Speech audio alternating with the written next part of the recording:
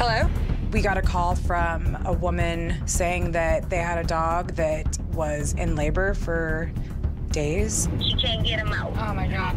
And a lot of the puppies that she had had had died, and she only had two living. You know, I'm just afraid we don't want to watch her die. I got some help. Even in the hallway of just walking into the house, it smelled like death. Like the smell just, you know, hit you right in the face. It was horrible. She's over here. Hi, sweetheart. And she is so weak now. Yeah, I bet she is. Xena. Hi, Xena. Hi, Mama. You don't feel good. Having been through labor and giving birth, I've never experienced pain like that in my entire life. And so the fact that this dog was doing this for two days straight, I cannot even imagine the pain that she was feeling. She had to live not two days there. There's four total? Yeah. I'm gonna take them. Will you carry the mom to the crate in the car? Hi, guys. I know. She was quiet the whole time, and I couldn't see in the very back of the car, so I didn't even know if she was alive. And here I have these two little puppies in my lap, and I didn't really know what to do or what to expect. We're almost there, Xena. Almost there. We got to the vet, and it's a little rough bringing three dogs in at the same time because all three of them were an emergency. Hey, guys, hold on. We got these little guys. Look They like said she's been had pushing since yesterday. yeah. So Dr. Kristen took the puppies from me and immediately started feeding them and got them into a warm climate because they were very cold. And she checked Xena. It smells not good, huh? No. We got some more in there. Oh, man. I see one big one in there.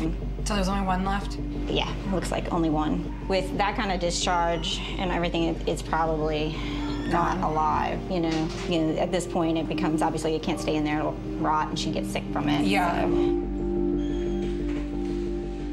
She gave her a shot that would induce labor, and the puppy came right out. Do you feel better? And it was night and day. Xena was a completely different dog the second the puppy came out. She was like happy, sweet, wagging her tail. I'm like, what the heck? I did not expect that at all. There you are, Mama. They're cute, huh? Yeah, they are. Xena was really excited to see them. She was licking them and smelling them. She's gonna be a good mom. Her two puppies, you know, finally found a, a loving home of their own, so I just can't wait for Xena to find the same. She was on the brink of death, and to see her bounce back so quickly, and then just to have this amazing personality. You're uh, so somewhat invading my space here.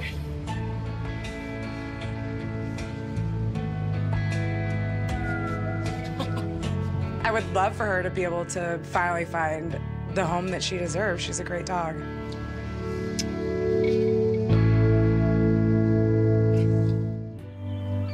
We have rescued our fair share of dogs that we did not think would survive to see the next day. So when we take in dogs that not only survive but also thrive, it just makes those ones that much more special to us. Hi, buddy. Come here. Come here, boo-boo. Another dog that is near and dear to my heart is Booty. Boo-boo. Booty had a very sad story. He was found as a stray with two broken legs. And after we got him to the orthopedic specialist, he determined that he's had the breaks for a few weeks. So this little dog was like dragging himself around for who knows how long. They were pretty bad. It wasn't just like, oh, just slap a cast on. It was like surgery and pins and casting, and it was, it was rough. It was his front leg and back leg and hip that were shattered. Come on, buddy. Come see your Frankenstein staples. They uh, put him back together like the bionic dog. He's got metal plates and all kinds of things in his legs. It took him a while. You know, it's over a year to even be able to run properly. He doesn't know that he's supposed to take it easy. Booty loves other dogs, and he loves the water. Come on, let me clean your face. Let me clean your face. Let me clean your face. Come here. Yes. Oh. Okay. Now you can go. Now you can go. Yay!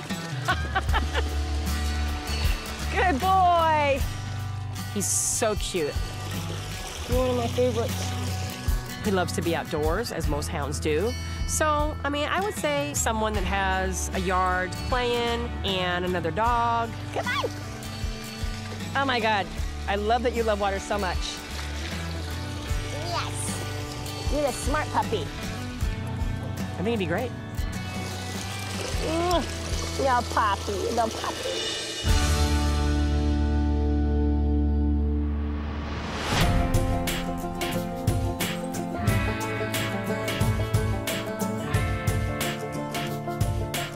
The first dog you rescue will always have a piece of your heart. Mine was a dog named Tatanka. And no matter how many I've rescued since her, she will always be special to me. There is just something about the satisfaction and the bond you get from saving a dog from a bad situation. And I know it's the same for my family and Earl.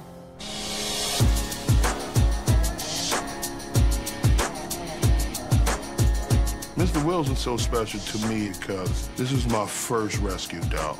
And um, well, Mr. Wilson literally started me on the track I'm on now. I see a dog kennel. I'm guessing it's around here somewhere.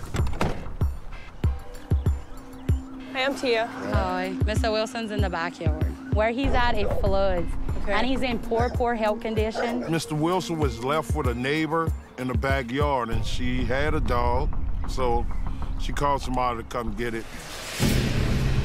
Hey, Mr. Wilson. Don't get too close. Oh. Looked like it come off a boat. It was on a real short chain. The chain was approximately 40 some odd pounds. Lo and behold, the chain was heavier than the dog. That's ridiculous. He says, I don't know you guys. I don't know if you know his back is all hunched. Yeah. And it's from pulling on the chain for such a long time. You just see his back's all. And then he's like this because of the chain. He was malnourished, eyes infected. The chain was so heavy it was starting to form a hump in his back. So I really thought he was pretty much an older dog. And he's only two years old. Really? Damn, Mr. Wilson, bro. I feel your pain, bro. Oh, I bet you he feels relieved.